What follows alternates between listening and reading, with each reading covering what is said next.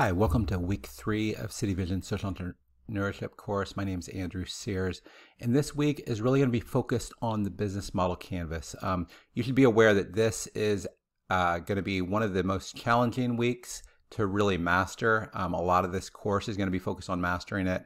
Um, the, the, canvas appears simple uh, to start off, but it's actually really complex. Um, in many ways, it can it holds all the components of a business plan, but it's a lot more concise. And that actually makes it a lot more difficult. One of my favorite quotes is from Benjamin Franklin, where he said, I would have written you a shorter letter if I had more time. And the same principle applies to the business model canvas. To write your you know components of a business plan in a more dynamic environment and to do that you know very concisely um, takes more work in, in some ways than writing a business plan. So in some ways, what we're doing this week is having you do, um, you know, part of your a significant portion of your final project early on, and um, so you know, if this were a business planning course, this would be the final project. So spend effort on it accordingly. Um, you won't most likely you won't understand this as, as in depth to implement it in your first attempt. So try to study all the material this week. This week is going to be one of those weeks where you want to take notes and then pause and then rewind and take notes um, some more. So the whole point of this course is to learn an iterative process that involves updating your business model canvas. So be sure to do significant updates to it based on learning in a future week. So again, coming back to that diagram that we showed, you know, you're going to do one round on your canvas and we're going to just do portions of the, your canvas, but then each week you're going to be doing another round and another round. So, and the idea is that you're going to start off with workbook 1 and you might have say you're just a launch based on what you have on workbook 1, you might have a 10% chance of success. Some of you are going to be above that, some of below.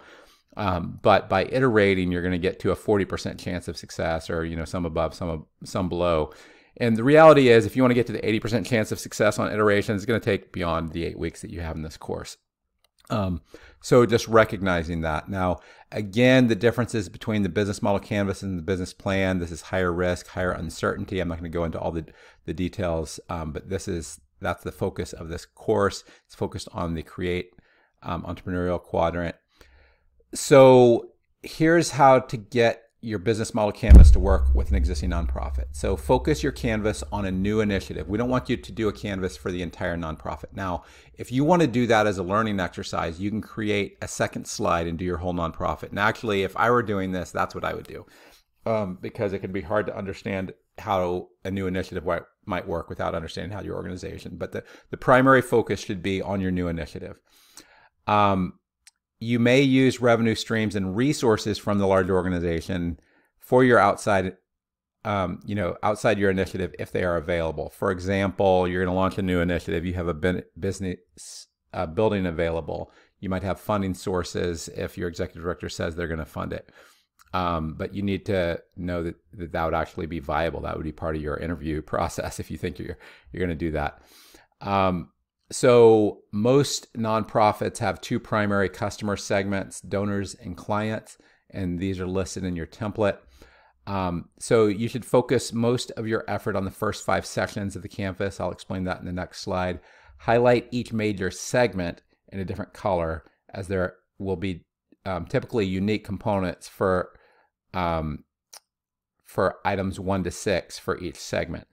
And as I mentioned, if you prefer, you can make a second copy of this and do it for your whole organization. So now, what is the canvas? So what's important in looking at the business model canvas um, is to recognize that there's an order to go through these things. So you're supposed to do customer segments first, and each one kind of builds on the other and, and relates to the other. So you start with customer segments, and you're going to have client segments and donor segments. And I showed this highlighted in green so that as you go to your next section, you're going to have clients and they're going to have value propositions. So this is what is important to the clients or why are the donors giving or if it's a customer, you know, what way of communicating value to them do they, you know, care about. So for the iPhone, it's about it's simple and it's easy to use and it's creative, you know.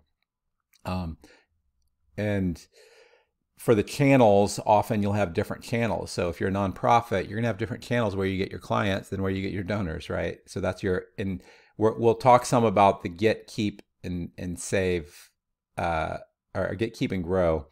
Um, and most of this will relate to get. Sometimes this will relate to get, and I'll explain that um, more deeply. But um, for clients, it's keep and grow. Often, if you're in a nonprofit, you'll have some sort of client tracking system, and you'll also have a donor tracking system. So you might, you know, reference that. And then you have key activities um, for each of those segments. And often the, the resources and partners will, will operate across those segments.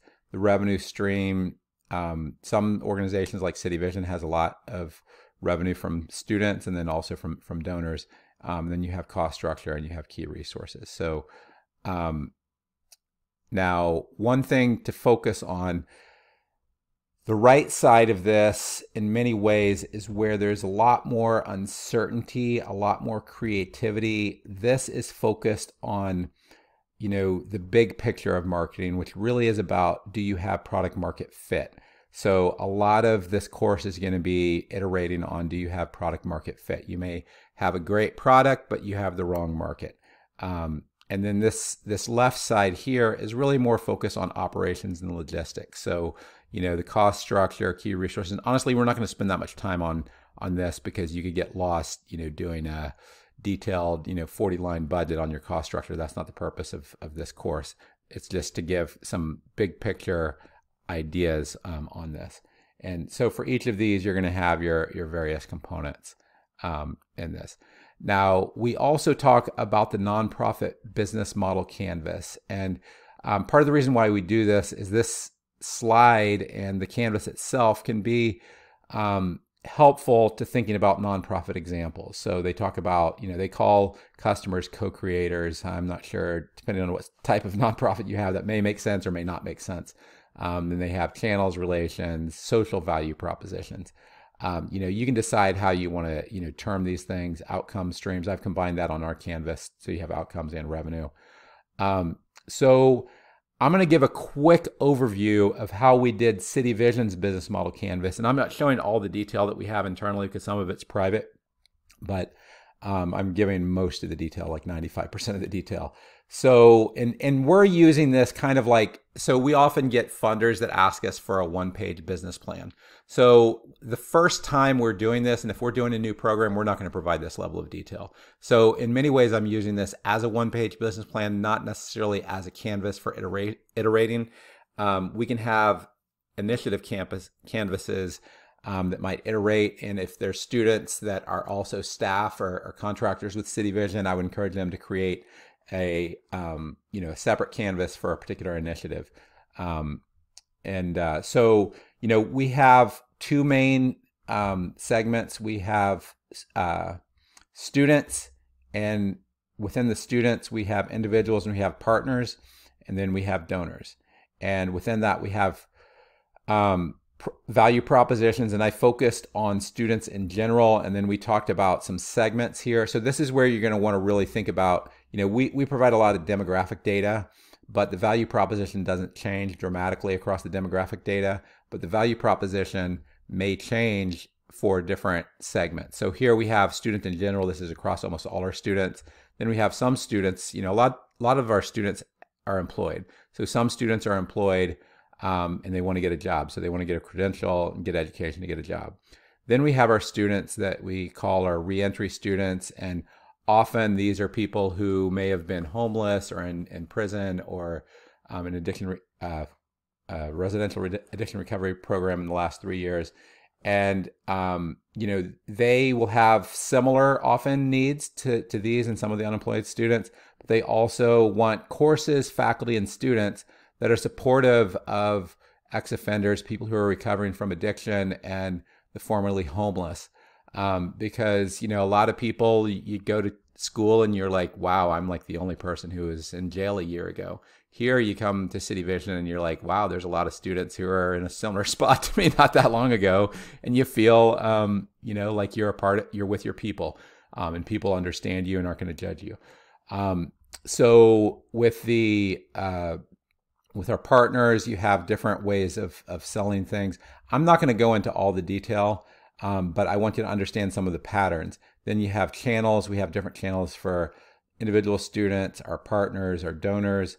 Um, I didn't put our donors here partly just because of lack of space, and I wanted to focus on the other ones. Customer relationships. You have revenue streams. You have um, key activities, current resources, accreditation, affiliation, and cost structure. Um, now, I, I asked Charlie to also do the same thing for a rescue mission. Um, and I'm going to go over this fairly quickly, but I would strongly encourage you to go to the resources section of the course and download these and look at these slides more extensively. So here, um, you know, the rescue mission is has uh, you know women and children. Um, it has men's programs, and often that's that's a division. Here's some of the demographic data. Um, you know, I think I might add that you know in the segment you have uh, and this comes back to the value proposition and, and some of the other things, but you have the those are, are staying in your shelter and, and those that um, are in, in programs. And then for clients, you have a value pro- proposition. Those who are seeking relief, they only want housing, food, and medical services. Um, and then, you know, ultimately, most rescue missions are about development. So, a transformational relationship with Christ, re- reducing, eliminating life controlling addictions, reconciling relationships, getting education and skills for em- employment, getting a job, um, and improve life management skills. And then donors, you know, ultimately, why are they giving? So um, that that's what you're covering. Then you have, you know, your different channels where you're getting your donors, where you're getting your clients. Um, then you have customer relationships, you know, clients. You have activities, resources, key partners, your the the various cost structure, um, and you know you can break down the the cost per participant in various capacities and uh, things along those lines. So um, the next presentation is going to be going over a workbook for Business Model Canvas. And if you have any questions, please ask your faculty member. Thanks a lot.